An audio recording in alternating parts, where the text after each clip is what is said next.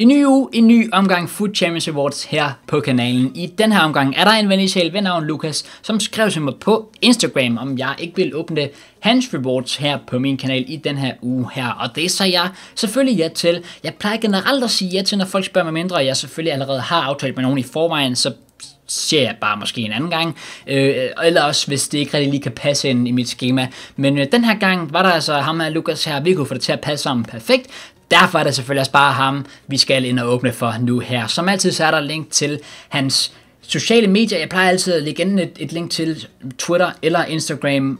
Altså e, egentlig er det lidt op til folk selv, men selvfølgelig hvis folk har skrevet til mig på Instagram, så smider jeg deres Instagram ned, fordi jeg ved, hvad de hedder der. Og om hvis de har skrevet til mig på Twitter, så smider jeg deres Twitter ned, fordi jeg ved, hvad de hedder på Twitter. Ja, det giver mening. Øhm, som sagt, der er et link til hans Instagram ned i beskrivelsen, så hvis I skulle have lyst til det, så kan I gå ned og smide et follow fra mig af. Men udover det, så skal vi bare i gang med nogle pakker. Og her har vi så Lucas' klub, som vi kan se, vi er inde på her. Og som vi selvfølgelig altid gør for en god ordens skyld, så går vi lige ind og tjekker hans hold, hvordan det ser ud. Han skrev til mig, at det er ikke det bedste hold, og man kan, altså, vi, vi må selvfølgelig indrømme, at vi har set bedre, men altså, det er ikke fordi, at det ikke er et godt hold stadigvæk. Har altså en footmaster, der på mål, faktisk også en, wow, en footmaster okay, der plejer man jo at bruge Mendy der, men, men fair play. Lidt anderledes kan man sige. Næste tog Campbell ned i forsvaret med Walker på højre bakken der, og, og på midtbanen der kører vi Martes i et, altså man faktisk har fået i en, øh, hvad hedder det, Food Champions kort der, ikke dårligt. Promus derude i Wants to Watch sammen med en, øh, det pege, som han vil nok køre. Ja, jeg, jeg kan ikke lige gennemskue, hvad han kører indgame. Måske en 4-2-2-2, 4-1-2-2, smal, noget den stil måske. Almindelig Frankie de Jong sammen med Pep Guardiolas kort der, og så så altså Dembélé op foran også. Så ja, igen, altså, ikke no, no disrespect, vi har set meget bedre hold, men uh, wow, en Lewandowski på bænken under købet også. Men, øhm, men altså, det er, jo, det er jo stadig et ret decent hold. Vi skal også lige have kigget på ugens hold her, inden vi, inden vi øh, går helt ind i det. Vi skal lige se, hvad vi kan få pakket her.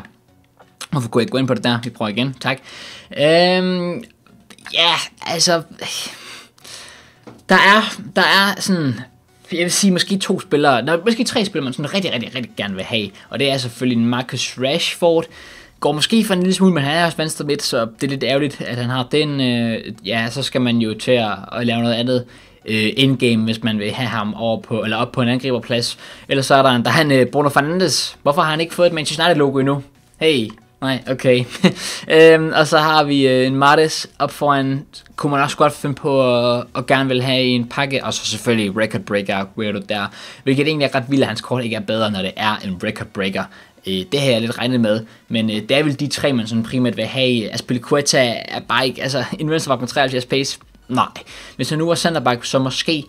Øhm, og problemet er også, at det skulle måske have været Reece James, der havde fået det kort. Det kan vi godt blive enige om. Sådan er det. Der er en Handanovic på kassen, men ja, keepers igen går bare ikke for så meget sådan deres fra Serie A, så der skal desværre meget til. Vi skal desværre meget, meget, være meget heldige for at få noget af det her, men altså, det er jo selvfølgelig også det, vi satser på. Inden vi hopper helt ind i Food Championship Awards, så har vi selvfølgelig nogle Division Rivals Rewards først og fremmest, og han siger altså, at vi skal gå med de tradable rewards, så det er selvfølgelig det, vi gør. Der er altså en mega pakke her, en pakke med sjældent og en premium guldpakke, som igen er tradable, så det er jo sådan, det er, det er stadig fornuftigt nok packs, øhm, igen i forhold til det er en, en rang 2, jeg ved ikke, hvad division det er i faktisk. Jeg har ikke rigtig styr på sådan noget, men øh, hey, lad os se, om vi kan få noget godt. Vi har boet i den første premium guldpakke her. Jeg har stadig ikke helt lært, om man kan se, det en, om, om, man kan se, om det bliver et bord eller ej på selve bare pakken, sådan enten overhovedet åbner og går ind i animationen. Jeg, jeg ved godt, det er noget med lys, man skal kigge på, men jeg, jeg, jeg forstår det ikke lige helt. Anyways, pakken her. Øhm, nej, der var ikke så meget at komme efter der. Prøver vi megapakken her i stedet for igen. Kan ikke rigtig se det, kan først se det her. Det er noget, okay, det er noget blot i hvert fald. Det bliver sådan Champions League, må det vel være. Det bliver en, øh, hey, en, en David Nettes. Woo. Jeg blev ikke bedt den her gang af, at det var blot, okay? Så bare rolig. Anyways, ja, yeah, det var faktisk en, endnu en trash pack. Og så har vi sidst her, en 50k pack. Pakket med sjældne spillere, Come on, EA, så er det nu, vi skal have noget godt. Lad os se, vi går til det her, det bliver ikke engang, ikke engang et board, for fuck's sake, dude. Hvad, hvad, hvad, hvad er det her? Hvad er det her, yay? Hvad, hvad er det her? Hvad er det her? Helt ærligt. Okay? Øhm, ja. Det, der, der, der skal steppes op her. Inden vi hopper helt ind i Food Championship Awards, så kan vi se her, at han har faktisk lavet sådan 12 af de her uh, two-player packs her. Det jeg gør, det er, at jeg åbner dem bare, og hvis der ikke kommer noget godt i dem, så altså, så tager jeg bare ikke de packs med. Det er ikke sådan, jeg kommer til at sidde og åbne alle 12 pakker, vi bare kan se på det. Øh, jeg kommer til at åbne alle sammen, og, og, og hvis der er noget godt, så tager jeg det med, og hvis der bliver noget, hvis det, hvis det er rent shit, så, så skipper jeg det bare, okay? 20 minutes later. Okay, vi er seks pakker inde, og da jeg havde sagt, at jeg ikke regnede med, at jeg ville tage de pakker med, hvor vi ikke fik noget særligt godt, så har jeg ikke regnet med, at jeg faktisk mente, at vi ikke ville tage en eneste af pakkerne med indtil videre. Der er legit ikke en, vi har ikke fået engang et board endnu. Så ikke noget med en walker eller sådan en god spiller. Vi har ikke fået et board endnu. Den højeste har været sådan 80 rated. Og vi halvdelen af de her to player packs igennem. Og hvis man tænker på, at vi heller ikke fik noget godt i de der Division Rise Awards før, hold da kæft, mand. Ja, okay. Øhm, så så, så, så det, det er ret skræmmende. Hey, der kom der noget godt her. En, hey, en, en Champions League. En... Oh my god. Hvor er det egentlig trist, det her. Så der er tre pakker endnu. Stadig ikke fået noget godt. Stadig ikke fået en spiller, der er... Ja, de tre, vi lige så åbnede, siden jeg lige åbnede sidst, det var altså... Hey, finally! Åh, oh okay, så er det ikke engang... Yay, det, det er et board. Yay, det er Neto fra... Eller hvad hedder det? Repatricio fra Wolves. Så endelig tænker jeg, yes, nu bliver det noget godt, og så er det en 83 rated keeper for Premier League. Woohoo. Så vi har legit åbnet, det her det var så den 10. pack. Og, og han er en duplicate, oh my god. Det her det var den 10. pack. Og det var det første board. So far. Ja. Det er godt, det ikke er mig, der sidder og spiller min tid på at lave 2-player packs i hvert fald. Lad os se, der er lige to af dem endnu, og igen, bare trash. Vi har den sidste her, hopper ud i det, come on, i, i hvor svært kan det være at bare give et eller andet godt. Det er endda untradable, altså legit, nej, nej, okay. Wow.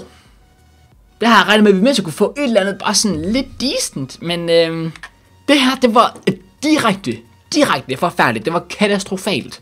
Holy shit. Well, der er ikke så meget at gøre. Øhm, vi må selvfølgelig bare have ud i i uh, Food Champions Rewards'ene her, hvor der altså er en e i 3. Selvfølgelig stort tillykke til Lukas med det her, og jeg er ked af, at uh, du ikke har pakket noget godt endnu, mate.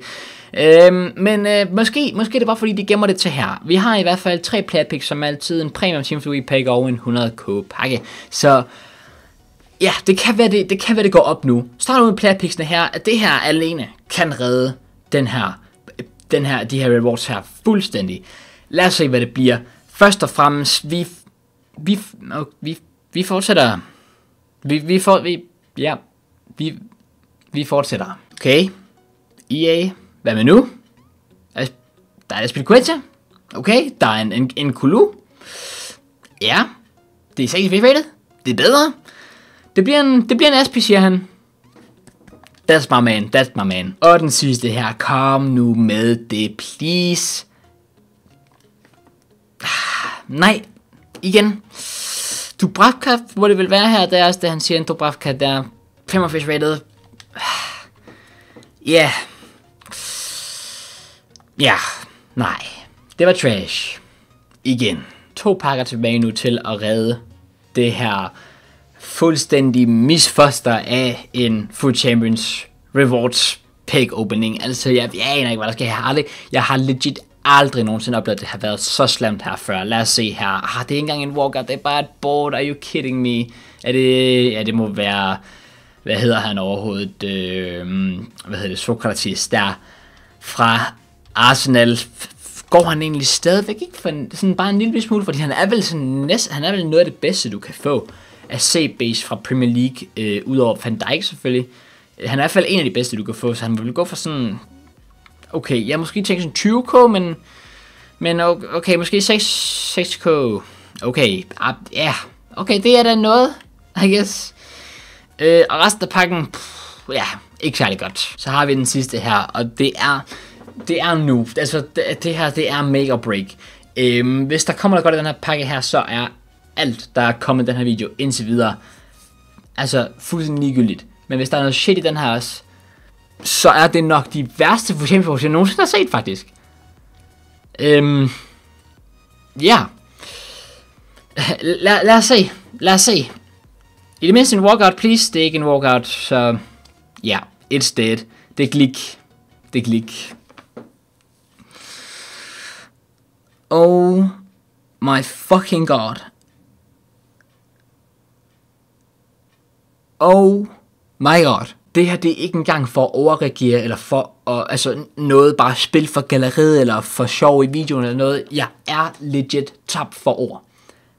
Det, det her, det er ikke engang, det her, det er ikke engang mine rewards. Jeg har ikke gjort noget som helst for de her rewards her. Det er ham her, Lukas, der har knoklet røven i bukserne, fået et fedt resultat i Elite 3. Og det der er, hvad han får. Vi åbnede 12 2-player packs, hvor vi fik et board. Åbnede hans Division Rivals Rewards, hvor vi fik... Jeg kan ikke huske, vi fik, så trash var det. Fik et enkelt board igen i, øh, i pakken før. Sokratis. Og så får han, så får han Glik.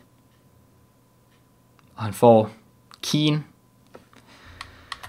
Og Garbage. Wow. Jeg ved legit ikke, hvad jeg skal sige. Jeg tror aldrig nogensinde, jeg har set en større scam end det her. Hvad? Altså legit. Okay, ja. Jeg ved ikke engang, hvad jeg skal sige. Holy shit. I det mindste var playerpicksene sådan okay. Øh, der var en Aspi, der var en Dubravka. Så det, det, det var sådan, hvad jeg tænkte, okay, altså, man, jeg ved ikke, hvad, hvad han Sorry, jeg ved ikke, hvad man havde forventet af det her Team of the Week rigtigt, så jeg tror, det var sådan det eneste, der var rigtigt, hvor man sagde, okay, det var det meste lidt godt. Men uh, udover det, ja. Åh, oh, ja.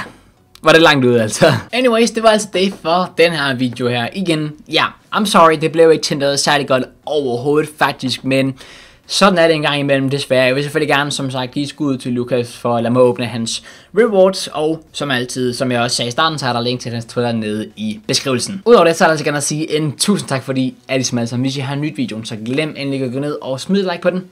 Subscribe, hvis I vil se mere. Og vi ses.